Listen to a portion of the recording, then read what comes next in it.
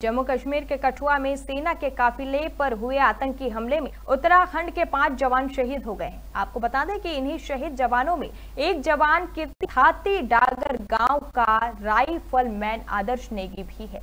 शहीद आदर्श नेगी के गाँव में उनकी शहादत की सूचना मिलते ही गाँव में शोक की लहर छा गई। बताया जा रहा है कि शहीद आदर्श नेगी अभी महज छब्बीस साल के ही थे। कि उन्होंने देश के लिए अपने प्राण न्यौछावर कर दिए। शहीद आदर्श नेगी की शहादत से परिजनों का रो रो कर बुरा हाल है।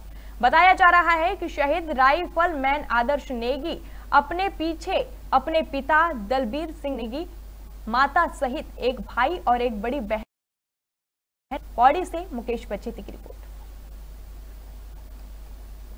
पारिवारिक बात तो ऐसी है कि हमारा दो ही महीने हुए हैं। दो महीने पहले एक बेटा देश के लिए शहीद हुआ। वो मेजर के पद पे थे। दूसरे क्या जो है घटना जो अभी समाचार मिला रात दस, साढ़े दस बजे। ये आतंकवादी सेना के वाहन को अटैक किया गया, जिसमें कि हमारे क्षेत्र के पाँच जवान शहीद हो गए। उनमें से एक हमारा बेटा आदर्श भी था। आदर्श बहुत होना अच्छा था। उसकी पढ़ाई लिखाई गाँव के स्कूल से इंटरमीडिएट की उसने। उसके बाद उसने बीएससी करी गढ़वाल यूनिवर्सिटी से। सेकेंड ईयर का वो छात्र था। मैंने उसको कहा कि भाई कभी भी आप जो है अपनी फ़िज़िकल को मत छोड़। बहुत चुस्त दुरुस्त था। वो फ़िज़िकल उसके फ़िज़िकल ने उसको जो है फौज में सेलेक्ट करवाया, आज वो देश के लिए शहीद हो गया। सरकार से निवेदन ही कर सकते हैं कि इन शहादतों पे, अब हमारे परिवार की तो दो महीने में दो शहादत हो गई।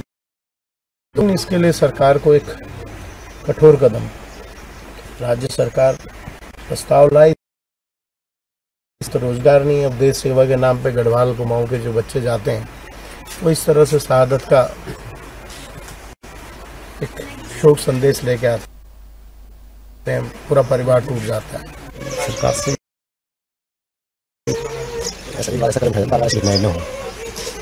आदर पच्चीस पच्चीस साल उम्र आपकी अंतिम बार आदर से बात कब हुई थी? इस सात तारीख शाम को क्या बात हुई थी? भतीजी मतलब भाई की शादी में आया था अपने मेरे भतीजी की। छब्बीस मार्च को ड्यूटी चले गए